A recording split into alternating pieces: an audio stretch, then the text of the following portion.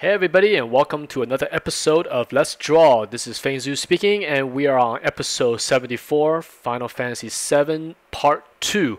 Um, so let's jump right in. So as promised, we're back after one week of break and also because I've received uh, so many messages in my inbox about uh, Feng, you're so lazy, where's the next episode? So here I am, uh, you know, and thanks for those messages, very uh, encouraging for me to get this thing done.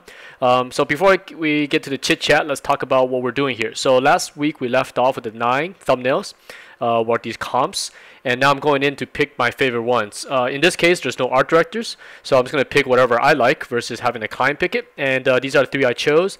Uh, first thing I've done is copy and paste it into a new canvas and re-res those images up to 5,000 pixels wide. Um, they started out as 2,000 as a comp, which is plenty, and 5,000 for a pitch painting should be enough. And 5,000 pixels wide is also, uh, I think, just at the barrier in which your computer is, no matter if you have a slow or fast computer, it's a nice, safe size because you start to go to 8,000, 6,000, you know, or 9 or 10K, uh, you start to deal with RAM issues just in case your computer is a little slow.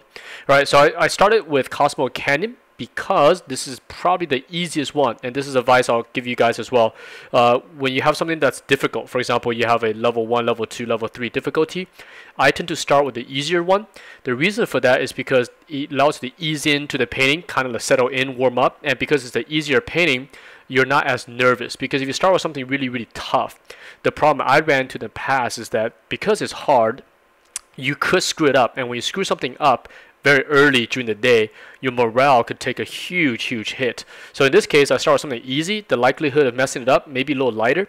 And that way you can produce something that you like within a very short amount of time and your morale stays very, very high. And when your morale is high, you can continue working forward. So Cosmo Canyon, in, my, in this case, is I think the easiest of the three. It's almost all organic. Uh, no man-made structures. It's pretty much just painting little domes.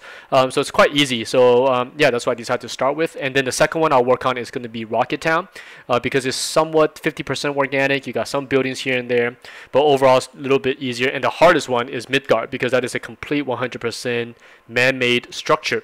That means perspective, uh, your, your um, camera, all these kind of things have to be quite uh, precise. Otherwise, something will look kind of wonky versus a organic environment like Cosmo Canyons, it'll be easier to control. So before I get into textures, the first thing I do is just painting the secondary level details.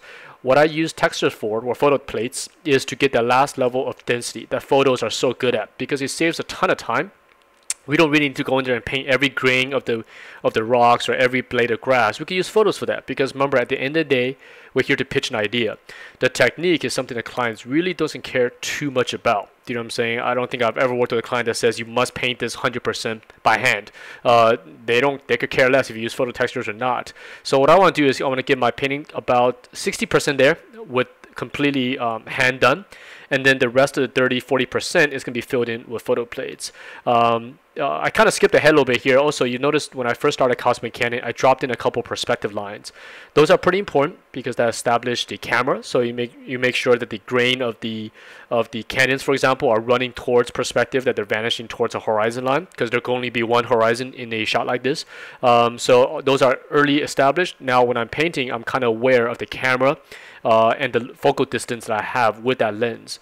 Um, and now again, just going in and painting these uh, secondary things. So this is quite fun because with, with comps, your confidence is really pretty high, right? I, and I mentioned this last week.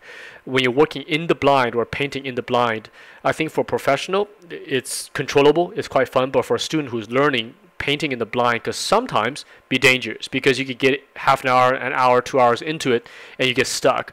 With a comp, we always have control. And also, if I screw this up, we can always go back and start again, right, with the, with the original comp. So, all right, here we go with the uh, photo textures. I just grabbed some rocks just to throw it in there to see what it looks like.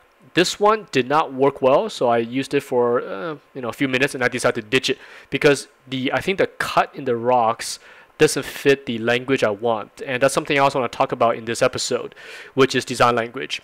For Cosmo Canyon, we want this wonder uh, kind of this feeling of it's got a romance, it's got nature, it's got mystery, it's got this kind of awe-inspiring type of feeling I want to convey to my audience. So the shapes I want was rounded, curvy forms, very like cos cosmos spinning, right? Because when I think of the cosmos, I think of those spinning galaxies. So I want to have that kind of motif in my design language. The first rock I chose was too angular. It had these 90 degree kind of cuts in it.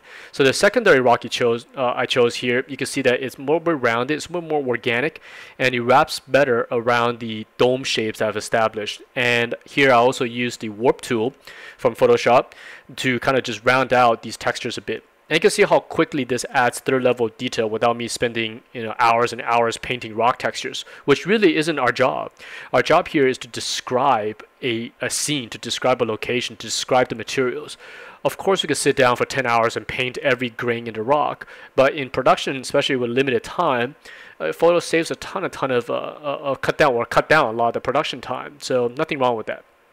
So um, later, I'll give you guys some uh, reference, uh, I think, uh, websites for you could grab these as well. So there's tons of them out there. So uh, I'll give you my favorite ones uh, a little bit later. So here I'm just kind of throwing a bunch of different textures and uh, yeah, very, very effective. It's fast. And this is because the underlying painting has been defined. Uh, I generally don't do too much photo bashing, um, depend on the project, but usually I'll always have some kind of underlying painting or some kind of idea before I start with photo textures. Otherwise, photo bashing can get you in trouble as well, right? Nothing wrong with that technique, just de depends on what you are uh, using it for. So, all right, so here I'm drawing a river. I want to get some green in there. I think the uh, it felt too red. You know, uh, this is a purple and orange color palette, but I just want to throw in a little bit more natural colors in there. The, the green I think helps with that, and green also works quite well with the yellow and purples. So I decided to just throw some grass into the base part of this um, this design. Yeah, to kind of bring your eye to that uh, observatory station in the middle of the frame. So this was a fun one because I, I love the banding from the textures I used. Uh, those those kind of yellow stripes that's going across the canyon. Later you'll see me light these up from below, and I think it takes on a quite uh, a nice mysterious uh, feel to it. This texture here is for the close-up uh, rock that's next to our camera. So hopefully you guys also follow along and maybe do some comps as well and could give this a try. And you'll find that at least for some of you guys, having comps is just such a nice boost in the morale that when you start these, you're kind of already like halfway there. And you see this episode we're trying to do details, right? You see, there's no secret. There's no like there's a secret uh, or a mysterious part that I skip. It's just this. It's just adding textures, paint a little bit, add some textures, paint a little bit, and it just after about two three hours, you, get the painting way more detailed than we started off with. Here's the value check again uh, with the black and white layer set on saturation. Here I'm balancing out the values once more with multiply to make it dark and using perspective or atmosphere perspective to line stuff up in the distance. So here I wanted the uh, tower to be a little bit darker than the background so it pops out as a nice strong silhouette or the observatory. So just kind of lasso that in, blast it with a little bit of multiply, and boom, there you go.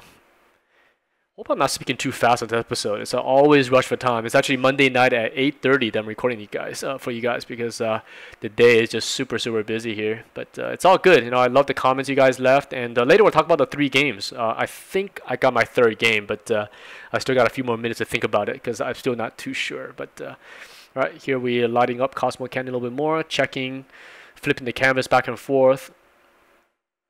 Yeah, right now most of my textures are kept on a layer. I will collapse it later when I feel more confident like okay this is the way this is gonna go then let's collapse the layers just to save some memory um, and also just work a habit that uh, I don't work with layers too much.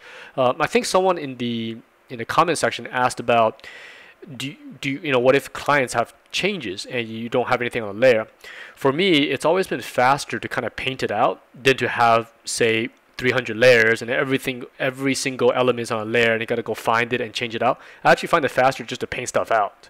Um, but again depends on the clients because we're working with photoreal plates. Sometimes painting things in is extremely difficult so having things on layers can help. But those are the kind of projects I typically don't don't take on anymore. I like to take on these painterly type of things and I, I communicate that pretty clearly with clients in the beginnings like hey look i'm just going to do early establishing very painterly looking stuff. Uh, if you're okay with that, then let's go, let's move forward. But uh, if you want something that's photoreal, super, super uh, tight, I simply don't have the time to do it. Uh, you know, because that kind of stuff is very time, time consuming to manage all the layers and stuff. And right now I'm just not at the point of my career in which I find that interesting. Right? So, but in the beginning of my career, we definitely did projects like that, in which you're keeping about 40, 50 layers, and every single rock and cloud and uh, people, you know, anything that's that's on top of one another is kept on a layer, just just just in case the clients have changes. So. But I personally don't enjoy that as a as a as an artist. I guess the artist side of me, the designer side of me enjoys all of it. But the art side, I prefer something that's a little bit more uh, painted.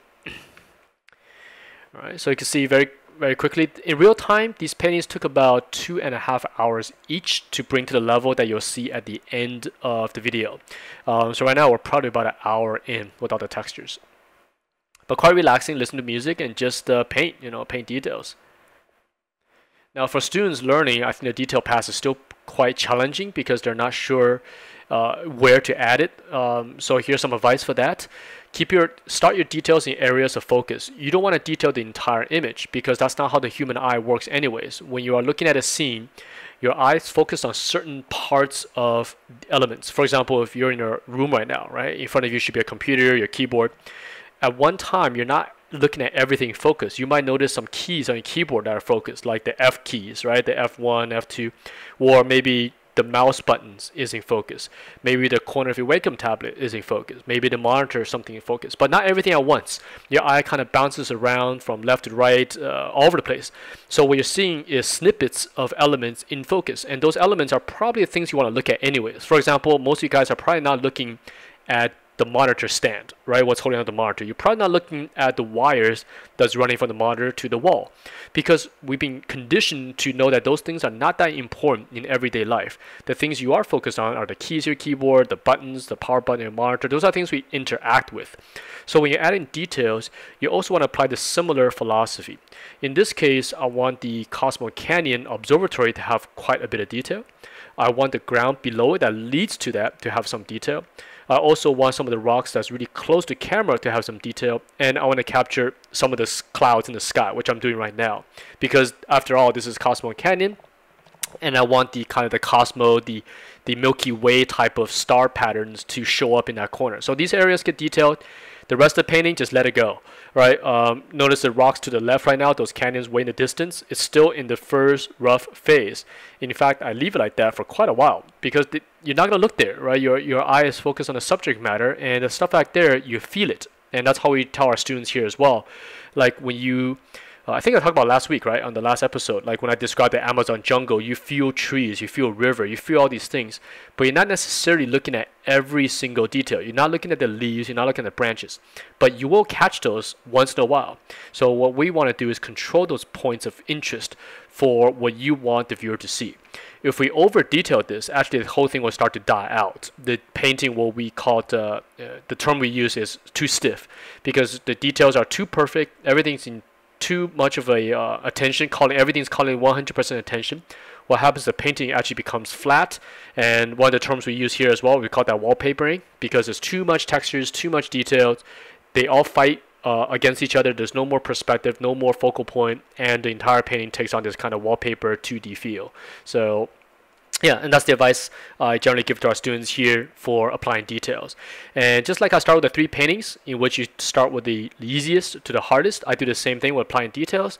So in this case, the easiest details are like things like grass, uh, little rocks, maybe some of the streams. These are so organic that if your brush is off by a few degrees, who cares, right? It looks it looks it looks fine. And then as you get to the observatory, the bottom ellipse, the the little uh, what do you call it, the lens, what the observer the, the, the tube, uh, what the lens fits into. Sorry, I forgot what the term that's called.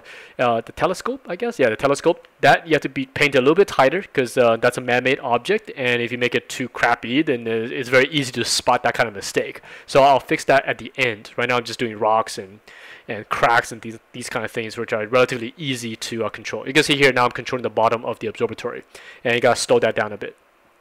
And also adding some staircases, just kind of indication of life that there's uh, some some activity or living uh, on I guess human-like activity going on in there. Some fires and these kind of things, and adding more uh, green grass here and there. I think uh, after this episode, I'll do we've been doing JRPGs two episodes in a row. Actually, three since this is a two-parter. Uh, so next one, I, de- I definitely want to do something else. Maybe I want to do a platformer game or something. I'm not sure. Like one of those 2D platformers, which are making a huge comeback right now uh, in the gaming scene. So I thought about doing, you know, like Blaster Master or uh, Contra and some. Some of these games already have HD remakes, so I, am gonna avoid those. But I think it'd be quite fun to do a side-scroller game. Um, in which we kind of approach it with a similar philosophy of this is going to be 2 2.5D. How can we make the, the graphics a little more interesting, the gameplay interesting uh, through design? So uh, here I'm working on the observatory, the tubes up there, and just being slowed it down a little bit, zoom in a little bit to make sure that uh, the object looks somewhat uh, controlled, so it's not super organic. Some balanced light since we're dealing with a cylinder shape. Right. All this goes back to the basics of your four shapes, which is cube, sphere, cylinder, and cone. Uh, using those four shapes, you could pretty much make uh, probably 99.9% of the objects in everything you paint. All right. So right now I'm kind of just taking a look at Cosmo Canyon. It's starting to get there, and what I'll do is I'll move on to the other pieces. I think pretty soon. Right, you don't want to spend the whole time on one piece. You want to keep your energy level up. Okay, so here I am. I think I'm ready to get to Rocket Town. Here we go. So this is the second difficult piece because you have two buildings that are very prominent in the scene. So first thing I do, establish the perspective. Uh, drop that horizon line in there, drop some VP points, drop some uh, uh, VP1, VP2s, and just get those things going. Uh, you don't have to be perfect, right? At the end of the day, we're not here to do engineering 100% perfection. We're here to sell an idea. But if you're too sloppy, you, you just have bad art, right? If you're too perfect, Nothing wrong with it, but that could also consume a huge amount of time, and your painting might look stiff. Uh, depends on what you're doing with it. So we want to be in a sweet spot for these kind of things. So you know, some perspectives off here and there. Who cares? If the overall picture is looking pretty good, it has served its purpose. Uh, because if I went in here and model everything perfectly and done all that, maybe it's okay, but for early pitch, that could take you two days, and I don't think clients going to pay for that amount of time for early level or early phase pitching. They generally give you a day to do like four or five of these paintings. So using that process, it's impossible to achieve. Um, so you got to strike a balance between how much perfection you want versus how much uh, you know uh, time you want to devote into this kind of thing before you call it done. So. All right, so let's talk about design of this uh, rocket town. So I want everything to have a triangular uh, language, as we mentioned last week, because I think that plays off the whole rocket thing, going to going to space and going upwards. So everything's pointing towards a center point. So all the buildings here, I changed it from the European kind of motif that you had in the original Final Fantasy VII to a triangular form building. Now, students have asked, does it does it really is it really important to do that? Because are the players even going to pick that up? My answer for that, no. Actually, I don't think the player playing these kind of things go, oh man, look at that. That design is like really thought out. It's got triangular because that is a meta- uh, uh, metaphor for going up and going to the rocket. I doubt it. I think very, very small percent of the gamer population will actually care about that kind of backstory. So then you ask, why do we even do it, right? It's like, okay, you're gonna spend all this time going over the philosophy and the design language when the only like one percent of the gamers actually pick it up. The reason for that is because it gives you a goal. See, when you're designing in the blind, what do you add? What do you do next? What kind of language, what kind of story are you trying to tell? When you have a philosophy, you kind of have a idea, a design direction to head in. For example, let's take Rocket Town, right? Because we have established everything is a triangular base, and we want everything to have an overgrown green on the bottom and rust colors on the top. Now we can apply that language throughout everything. For example, the windows, the tiles, the grass, the way the river works. Everything could take on this, everything goes from down to up philosophy, everything goes from green to reddish brown as we go up. So when you add in detail, you don't have to second guess. You don't have to like, oh man, what do I do next? You know, you're twirling your fingers going, oh man, what, what part do I paint and what do I add here? What do I add that? By having a common design language, you kind of already know what to do. The painting paints itself, as we say. But if I didn't have a philosophy or something to help myself as a designer control that, it, it could get a little bit more difficult because you're just guessing the whole time. It's like, okay, now I gotta do a window. What window do I use? Now I gotta do a, a river. Does river flow this way, that way? And right now you can see my river flows in a triangular pattern towards the rocket in, in an upwards angle. It goes down, down, down. It, ha it has these kind of step things. Um, same with all the staircase. Everything goes from down to up, down to up because that's the overall philosophy here that we go from the lower ground to a higher level and that's all established with a very simple uh, design language, which is a triangle, right, going down to up. So, and that's why we do it. It, it just gives you this philosophy. And later when we get to Midgar, uh, I'll mention that language as well. And it was extremely helpful for me when I was painting details of what how to handle Midgar's architecture. Um, and uh, yeah, as we get to that, I'll mention that. So. All right, so here right now, just doing the same thing as uh, Cosmo Canyon, adding the um, the secondary foundation forms correcting some of the geometry before we adding all the uh, photo textures, balancing things out. So this was a fun piece. I, I really like uh, the color palettes in these pieces. You know, nice, nice bright days. Avoid the kind of brown and gray tone that sometimes dominates. I think too many video games out there right now. The uh, kind of the you know they call it the brown uh, palette. Uh, it's nice to see some green, nice colorful stuff come out these days. Uh, like for example, like the next Dragon Age game looks quite pretty. You know, the color palettes are nice and rich. So I, I personally like that kind of stuff a lot. It just uh, it feels fun. It feels it feels fantasy. You know, uh, when there's too much brown stuff going on, it, kind of makes the whole game feel muddy in a way. Like when you walk away from it, you don't have this nice uh, blue sky, open feeling about it. So, right. Anyways, back to the black and white, balancing out the values. Yeah this is fun. And you guys please give me some more suggestions. I uh, actually i don't know if i'm to do a 2d platformer but uh, yeah continue listening to this kind of stuff in the youtube channel. Uh, i might also add a q&a for the next episode if i have time to fit that in since there's been a bunch of questions since we've done the last q&a uh, i want to get to that as well. All right time for textures. So going in and looking for, I think for this one, I wanted um, a few things. I wanted some grass to uh, look natural in the foreground. And then I wanted some rusty parts to signal that this was a abandoned uh, uh, uh launch base, right, for the rockets. And again, playing up the philosophy of uh, they used to be new, everything new. The hope was very high, right? We're going to space and all that, and now everything's kind of abandoned. It's left over. That dream is still there, but it's not perfect. The rocket is no longer uh, pointing 100% uh, 90 degree up. It's not at an angle, and the Earth, what the planet, has reclaimed much of its um, uh, uh, human-made stuff back to nature.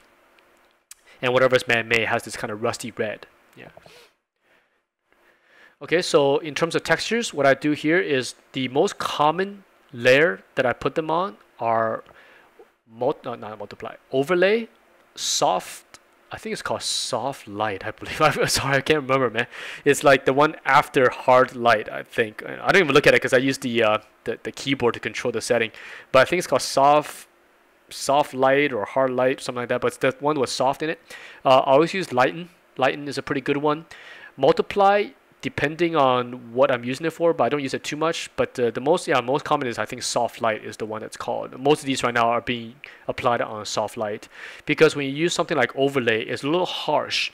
When you use overlay, it's still good, but what it'll do is it'll start affecting your values. You'll make your lighting areas or areas that are light value into a slightly darker value. So you can still use overlay, but you have to then check your values, right? Turn the black and white layer on and check that to make sure that the texture is not overly dark uh, lighten has the opposite effect. Lighten obviously make things lighter, uh, but that could be very helpful for picking up highlights, picking up uh, little grains and these kind of things. Quite useful. So here I'm trying to apply a little bit of the forest texture, some of the overgrowth. And you'll notice sometimes I keep very, very little of the texture I throw in there, right? You could put in a picture and then end up erasing like 90% of it. But who cares? That works, right? We're, we're not here to like force something into it. And I want to stress that point, which is when you're using photo plates, you don't need to force anything into these. Don't let the photo drive your painting. Let your painting drive the photo. Um, we ran into this in, with our students here sometimes, that they'll spend like half an hour or an hour looking for like the perfect image in the right perspective to fit in the image uh, into your painting.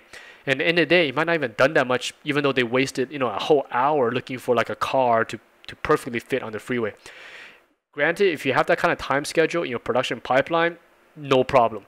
But in a fast turnaround time, that could be efforts that could be used somewhere else, right? You could just hand paint the car, you know, in an hour's time, or you know, uh, change it up a bit so you don't have to exactly use the one that has to match the road. So these are things you you balance out according to the schedule you have. So in this case, because of our underlying painting, the photos, the exact photos don't have to match in perfect perspective to my painting at all. All they serve are textures. So in this way, I'm constantly controlling the painting or controlling the photos with my painting and not the other way around, right? Or forcing forcing perspective to go in. Uh, sometimes you get lucky. Sometimes you get these lucky accidents, which the perspective work perfectly with your painting, and then those are the cases which like, hey, that's cool, you know, uh, happy accident. But oftentimes I don't plan it too much in terms of uh, uh matching the photo to the painting. So, but if you work on a photo photoreal piece, in which you know everything has to be perfect, then you have to match photo to plate. Uh, case like that takes longer. So maybe one of these days we'll do one of those paintings, but uh, they're very very time consuming because you have to have all your photo photo plates prepared. Uh, like say you're doing a game like the like The Last of Us or something like that, in which you're taking place in a real city, then you have to look for cars, uh, trees, uh, you know stuff on the on the on the streets like lamp posts, trash cans, and uh, paper and all that kind of stuff. All that needs to be in the proper perspective and proper density. Otherwise, it doesn't work. So I, I might do an episode on that in a while. So. So this one throwing all the photos, and you can see by throwing all these photos on, it never changed the main goal of this painting, and that's sometimes important if your clients approve this comp from the uh, from last week's little nine little paintings and they approved it, then you kind of have to turn it in sort of like what you turn what you show them as a comp. Do you know what I'm saying? Because you can't be like, okay, I approved this comp. You come back with this dark red lava world with like steam everywhere and it's all evil looking. They're like, dude, what happened, man? I thought we picked the green happy world. How come it turned into this crazy lava looking thing? So you have to kind of respect the original comp and uh, don't alter it too much. You know, you definitely want to add to it. And like for example, this one I add a little bit more of the um, the stream has a little bit of rust colors in it. I, I love that because it kind of totally plays up the story I want to sell, which is the the the nature with human things kind of joined together, and that color in the river that it produced. You can see in the bottom center there with the blue and the red. Uh, that fits perfectly with the blue and the red. Right now I'm working on on the roof side, right? So all these colors are joined together, and that wasn't in the original comp. That was a happy accident from the photo texture we threw in.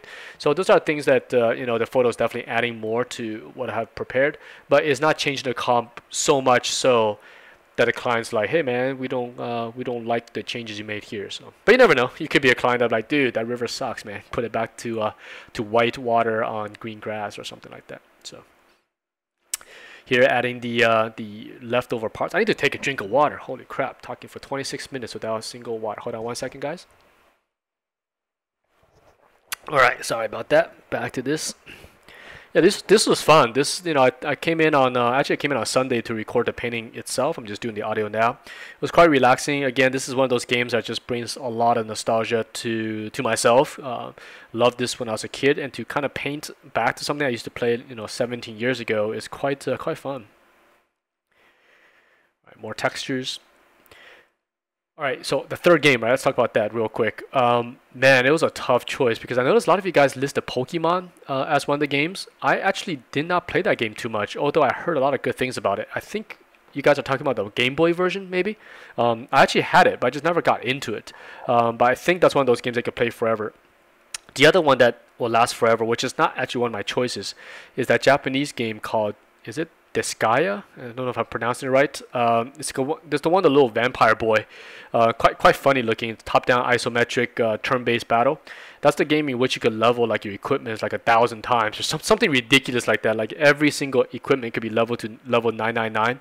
So you do the math on that, you could pretty much play that game for uh, for your entire lifetime, I think. Um, but I think to play that forever, I don't know. I don't think I could play that game forever because it does get pretty repetitive. So for me, I think the third choice is going to come down to one of those Total War games. And I think it's going to have to be Total War Medieval. That's actually not one of the popular ones they make. I think Rome uh, the original Rome is one of the most popular one. I think the recent one uh, debates out on that one if that's the most popular one. Uh, Shogun is pretty good, but my favorite is actually medieval. Uh, I just like that time period. I like the uh, you know the whole uh, European expansion with Venice and the whole Mongolians coming in from the east. I find that time period to be very fascinating, the whole Crusades and all that kind of stuff. So I think that's one of those games. It's actually quite similar to Civilization, um, but it's got the battle thing going on in it as well. So I think that would probably be my third choice of a game that I could probably play for the next um, 20 years and not get bored. I'm, I'm actually playing that game today. You know, it, that game came out a while back, and it's still as addictive as ever. So you're painting some clouds. And since I mentioned Civ, I actually went back on the weekend. I think Friday night, I loaded up Civ 5. I haven't played that game for a long time. And as soon as you pick it up, you know, you're like, okay, I'm going to test this out real quick. And then you look at the clock, and two hours just flew by. you know, I'm sure for those who play this game, you know what I'm talking about. That game just makes the time completely disappear. You, you made like five moves, and it's already, already been like three hours. You know, so it's crazy. Great game. Uh, one of those games that you just get lost in for the entire day and uh, and really for someone who's watching you play, they're like, "What the heck are you playing? Dude? You're looking at a bunch of tiles with some icons on it, and you took you 19 hours to put more icons on the board."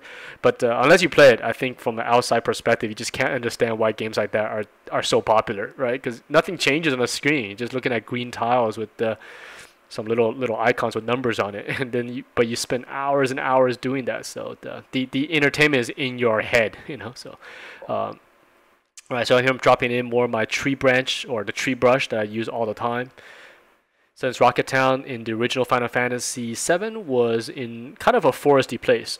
I still have no idea how they launched this rocket without destroying the town. you know, the blast from that. But it is a magical world, so maybe they cast some. Uh, oh, what do they call it? What do they call magic in this world? Magica or something, or magi, magi, something like that, right? Some, uh, so maybe they cast some kind of shield around the town so the rocket blast don't uh, obliterate the entire town next to it. So, right, balance some trees out. Right now, I, I haven't even painted yet. There's always been, there's still just photo textures, atmosphere perspective, and some photo brushes to go in there. But it's already looking a lot more cleaned up than um, than we started with the comp. Yeah. And you guys could grab all the high-res versions from my blog. I should put it there after the show. Yep, I'll put upload these to my blog at 2,000 pixels wide. So um, yeah, just in case you want to see what they look like. Because Design Cinema or YouTube always make these a little bit darker than they are. They're actually a little bit lighter if you download the original JPEGs. All right, time to hit the toughest one, Midgar. And I'm kind of just looking back to see what I've done. All right, here's Midgar. So even when I'm doing these final paintings, you notice that I um, keep all three of these paintings open. So this way I could kind of go back and forth to correct things. So Midgar, let's talk about Midgar's design philosophy. So this one, I had some trouble in the beginning. It's like, man, what do I do for architecture? And you'll see this one actually undergoes some of the most dramatic changes, especially on the left side of the screen. I'll add an entire column in there.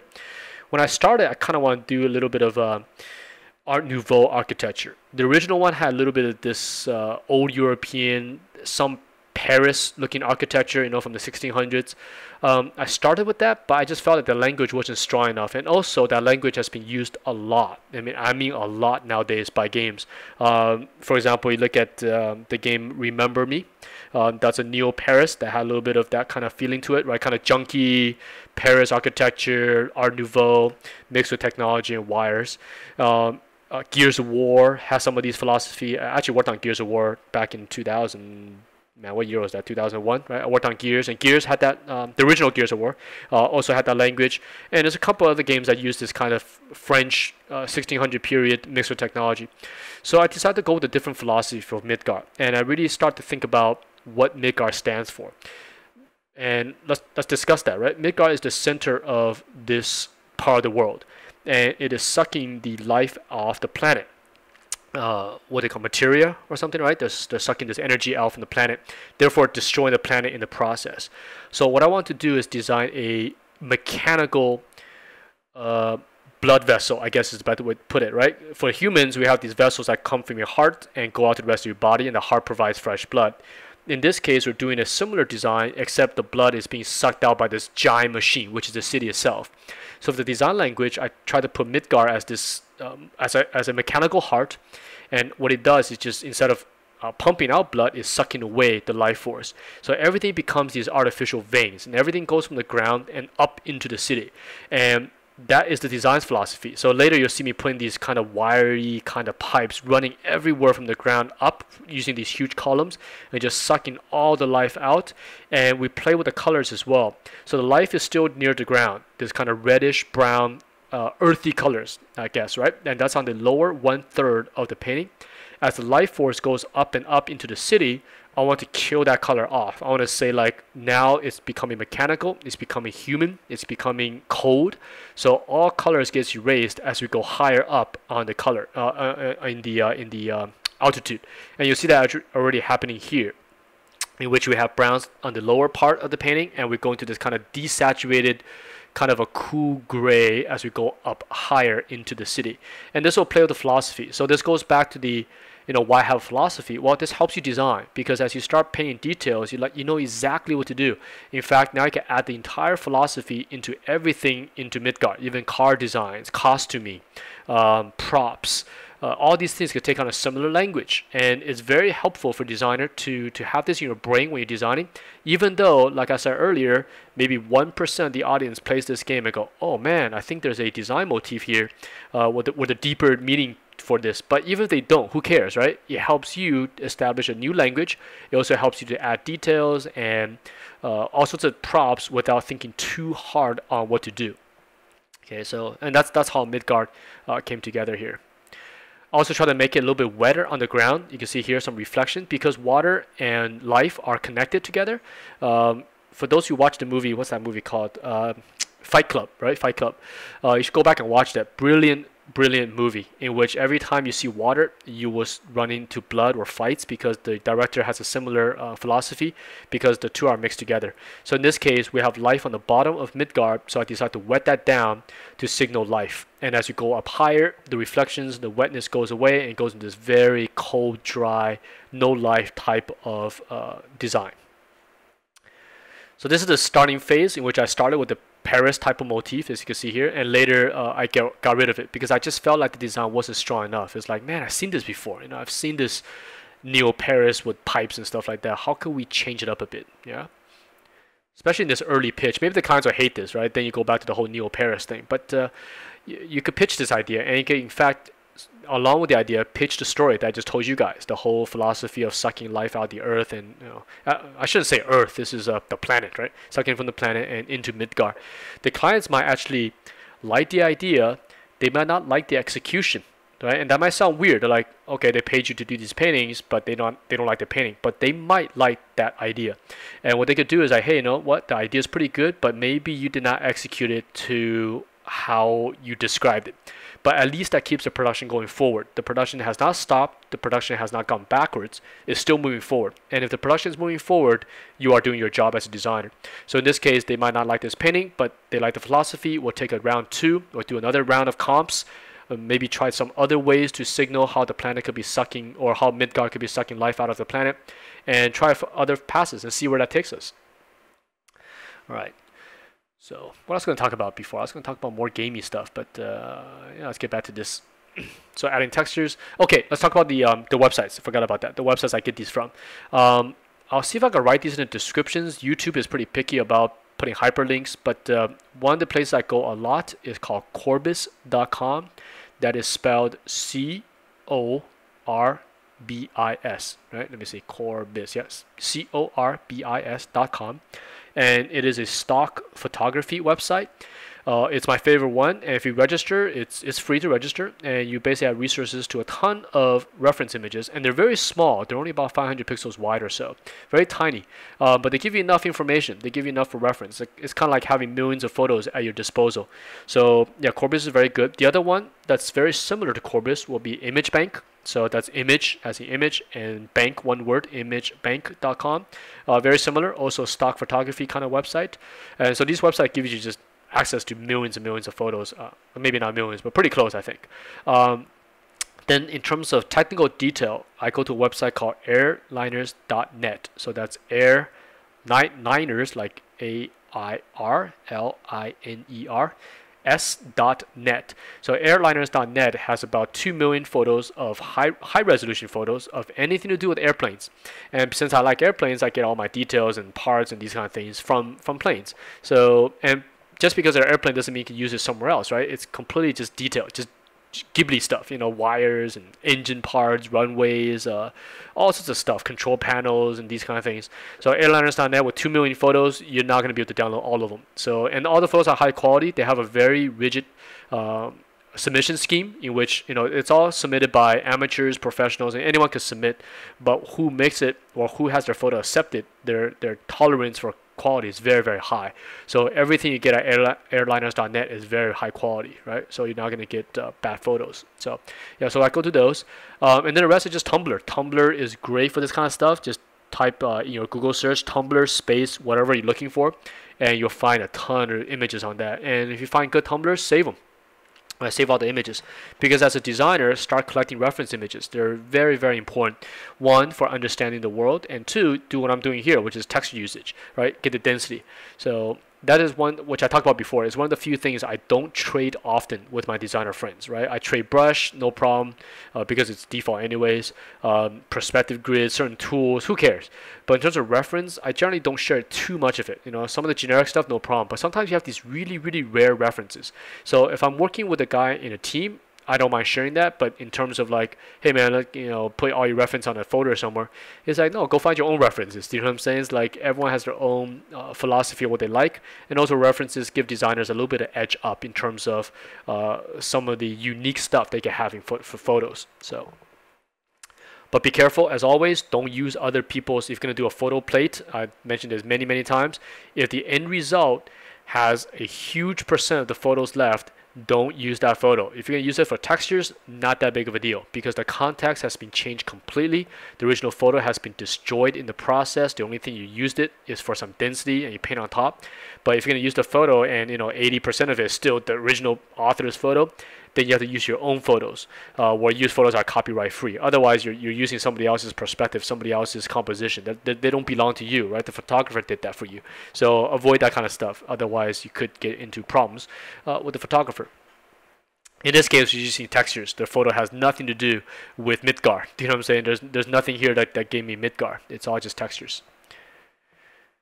So here I'm still throwing in some uh, some windows and these kind of things, and then pretty soon you'll see me throw the um, the blood vessel philosophy or design language into Midgar. Do do do do do. Yeah, hopefully I could get next school starts again next week, so I'll be back teaching again. Uh, yeah, starting next uh, next Monday. But I'll still try to keep the design cinema going. Um, these things are taking a little longer now since we are uh, you know, we've gotta improve the quality as we go. So these things are actually taking about a whole day to produce, uh, plus another few hours to you know edit and render and all that kind of stuff. Um, but definitely, uh, you guys are super awesome. The the feedback has been great. So you know, I love the fact that uh, some of you guys are being inspired from these videos to have your whole career changed and stuff. So that that's extremely rewarding uh, for me. Even if one person, right, if you change one person to to to to you know make their life happier, then it's all worth it for for us here producing these. So uh, no worries, it's just more time thing that we, it's not like I don't want to produce these for you guys. It's just it's really time consuming to do these. But uh, yeah, keep keep those comments going because that does give us uh, you know nice morale boost of like man, you know we're helping somebody and uh, sharing and helping people. That is the best reward that you could possibly have. And I encourage you guys out there as well. If you want to feel good as an artist, for yourself. Share your knowledge. Doesn't matter even if you're amateur, even if you're not a professional. By by helping people out there, by talking to them, you know, and this kind of stuff makes you feel really really good inside, and it also gives you a lot of confidence, right? Versus like, look at my work, I'm so awesome, I'm better than you. Maybe makes you feel better, but it's not gonna make the other guy feel better. The way to to build a mutual re relationship is to help someone else. You know, like, hey man, here's this technique I developed. Check it out you know it's on youtube watch it. And if that person applies it like hey that's great that's really awesome glad i could help. You you'll be surprised how much personal confidence it builds within yourself uh, that you're able to put a smile or uh, some confidence boost in somebody else. So it gets addictive. You know i've been teaching for uh, what 1999 so how many 15 years. And the first time I stepped in a classroom, I felt this energy in which students, you're watching them paint, uh, you know, or draw kind of uh, amateurish kind of stuff. And after a few weeks, they start changing. Their, their design language start changing. They start to become professional. And you can see it in their, in their, uh, in their personalities that they get the confidence boost. They're feeling happy about themselves. And that rubs off on you, right? And if the whole class is doing that, man, it is a joy to teach. So I encourage a lot of you guys out there to share as well, you know. So there's plenty of jobs to go around for everybody. There's no need to hog this kind of stuff. You know, there's especially nowadays, there's like so many game companies out there that uh, there's more jobs to reject and to take right now. You know, especially with E3 right now happening. I mean, there's so much freelance out there uh, for for concept artists that uh, yeah, there's no need to hoard everything or don't share secrets or anything like that. Give it all out. It's it's fine. Uh, plenty of stuff to go around. All right. So here's uh, okay. Back to the painting, right? Talking up about life stuff, but uh, yeah, I mean the reason why I bring that up is because it, uh, you know right now with the internet, it makes it so easy for everyone to talk to everybody else, to share uh, materials with one another. Um, hopefully, in the future, I'll be developing other tools for you guys to make that process easier. And of course, going to be all free uh, for all you guys out there as well. So we're working on it. We're working on these. Uh, uh, things to help, especially student types uh, who maybe cannot afford a school and just learning at home. I want to build a set of tools for you guys so you could uh, learn along with us um, at your own pace and have you know you'll see right i don't want to reveal too much right now because i hate over marketing and then don't deliver it so when when it's ready i'll show it to you guys but uh, that's something we've been developing uh, for quite a while now that i want to give out to you guys uh, for free you know so all right, let's go back to the uh, back to the painting here. Now I'm starting to do the uh, wiring pretty soon now. So there's some vehicles here. This painting took a while. This is the longest painting of all three because we're not dealing with organic forms. Everything has to be kind of proper in perspective. So you couldn't paint rocks and grass and these type of stuff. But at least it's still messy. Messy architecture or chaotic architecture is much easier to handle than say a um, like a movie like Minority Report, that is a very difficult film to design for because everything is so clean, so posh.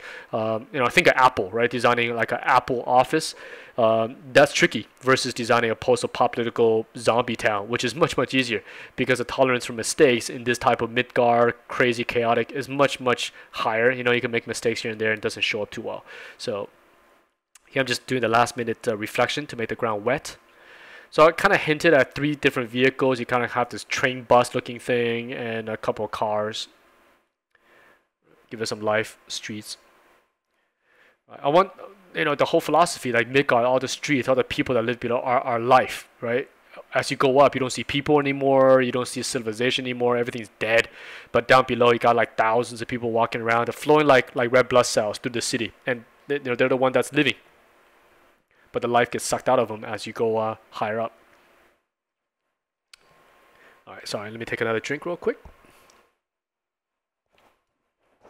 Hopefully this episode is not rushing by too quick. I know I'm talking really, really fast. I just can't help it. Um, I need to take one of these episodes and just do a two or three hour episode, which was just totally chill, you know. And that's something I'm planning as well in the future with you guys, you know, some kind of live type of thing. I'm not sure what that is yet, uh, in which we could just talk normal, you guys got real-time questions and I'll answer them in real time without having to just rush through and just blow through at a thousand words a minute here.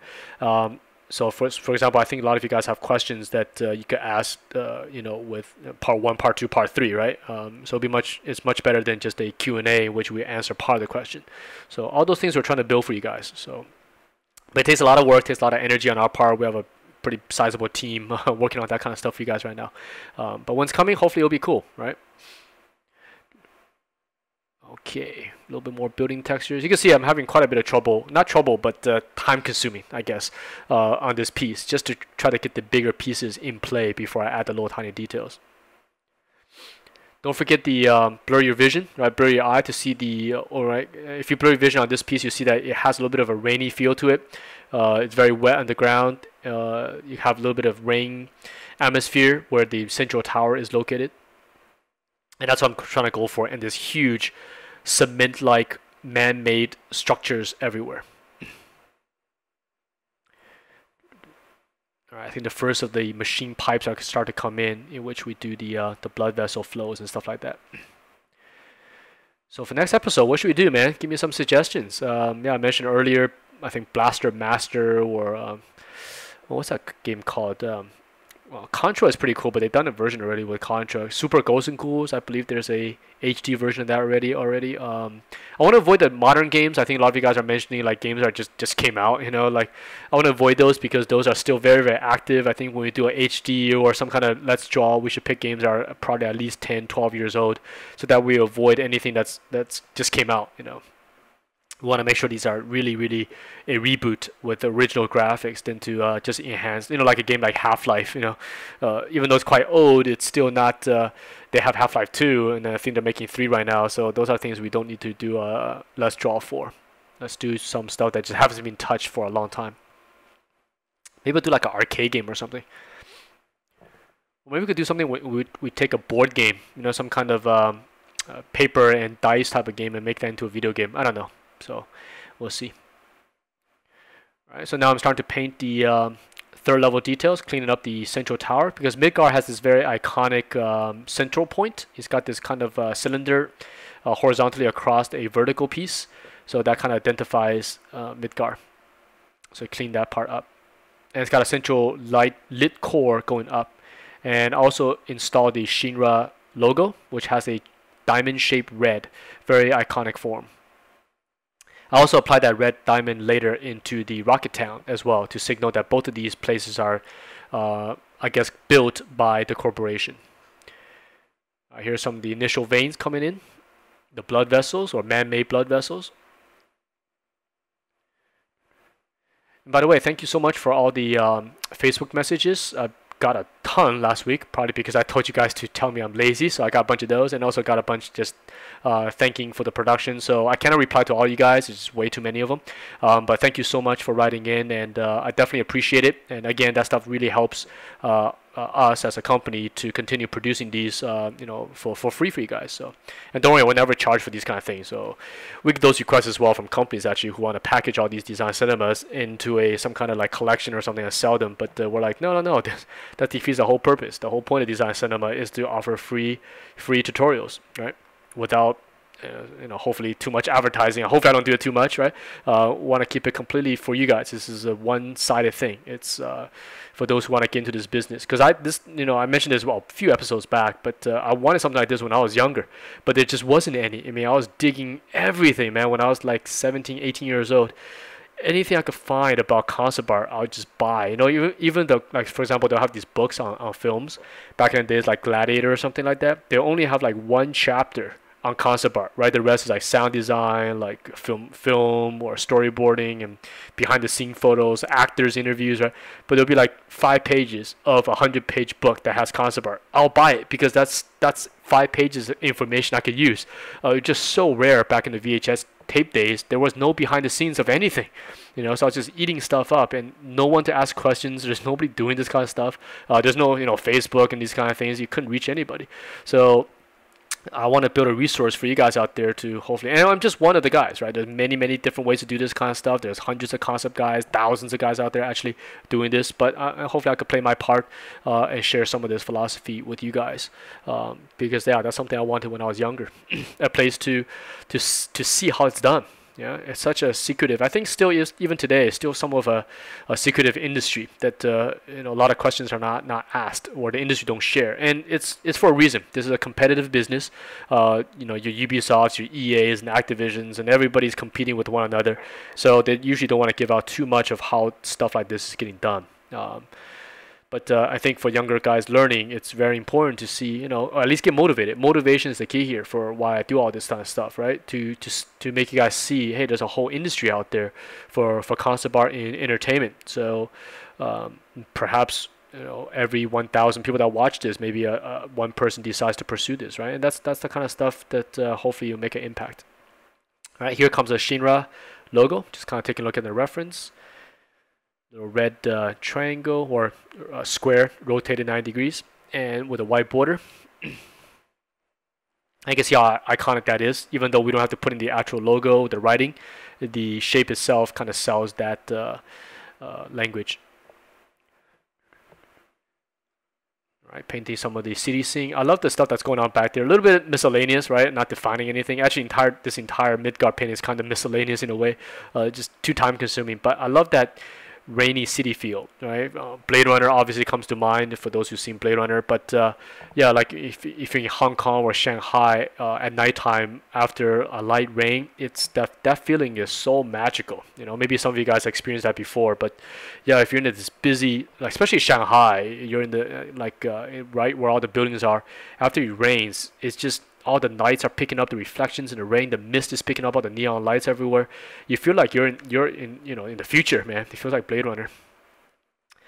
Right. So here I'm going back to Rocket Town to add the details where the painting on top of the photos. Right. So this is so the the way it worked was um, take the comps, res it up, add second level detail to hold the forms, photo textures set on mostly soft light then after all that is done, we go back and paint on top of those photo textures to blend the photo and the original painting together. So it's not so uh, jarring in between the photos plates and your paint. So now I'm going in with paint again to melt those elements together. And here's you do your third level details according to the uh, some of the stuff I talked about mentioned earlier, right? Focal points, what's important in Rocket Town. It's going to be the rocket, the home on the right now on the right side with the three three windows. So that's going to be a key point for your eye. Uh, the river will get some of that, and some of the close-up objects on the ground on the lower left corner will get some detail uh, attention as well. Later, I'll show you guys what these look like after about. I did pause the video or stop the video for about an hour for each painting because otherwise this will just go on for a very long time doing details. But you're seeing basically how details are applied. I didn't skip anything up to this point.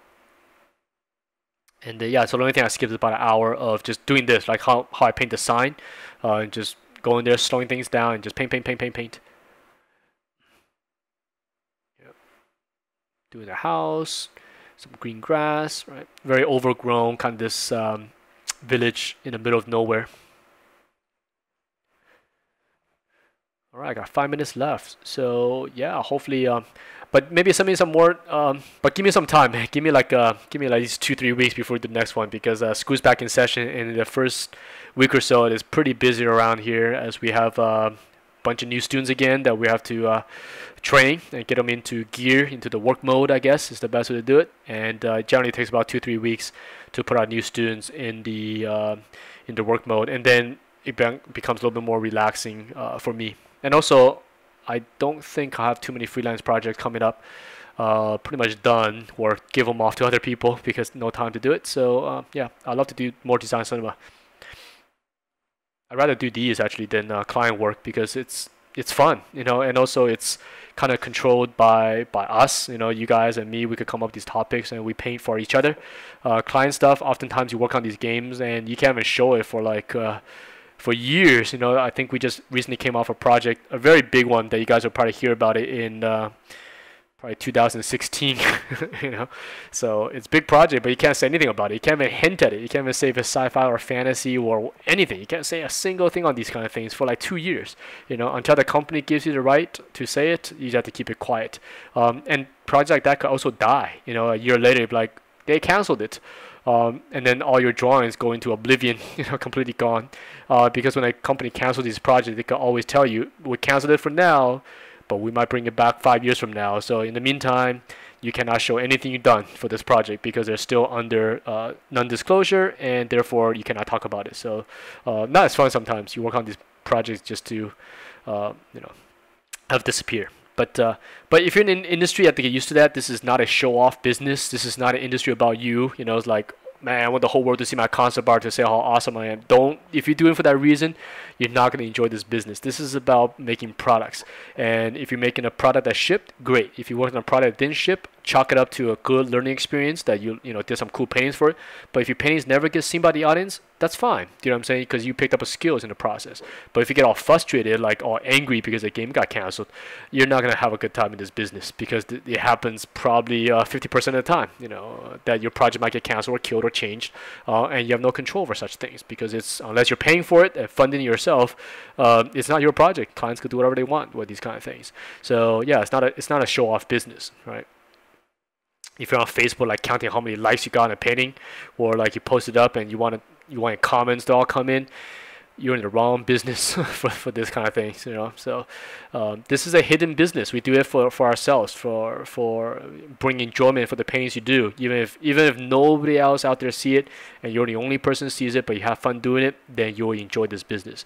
So if you want to get a lot of glory and praise and all that kind of stuff, then I advise you not to be in this business. Um, it is not for showing off.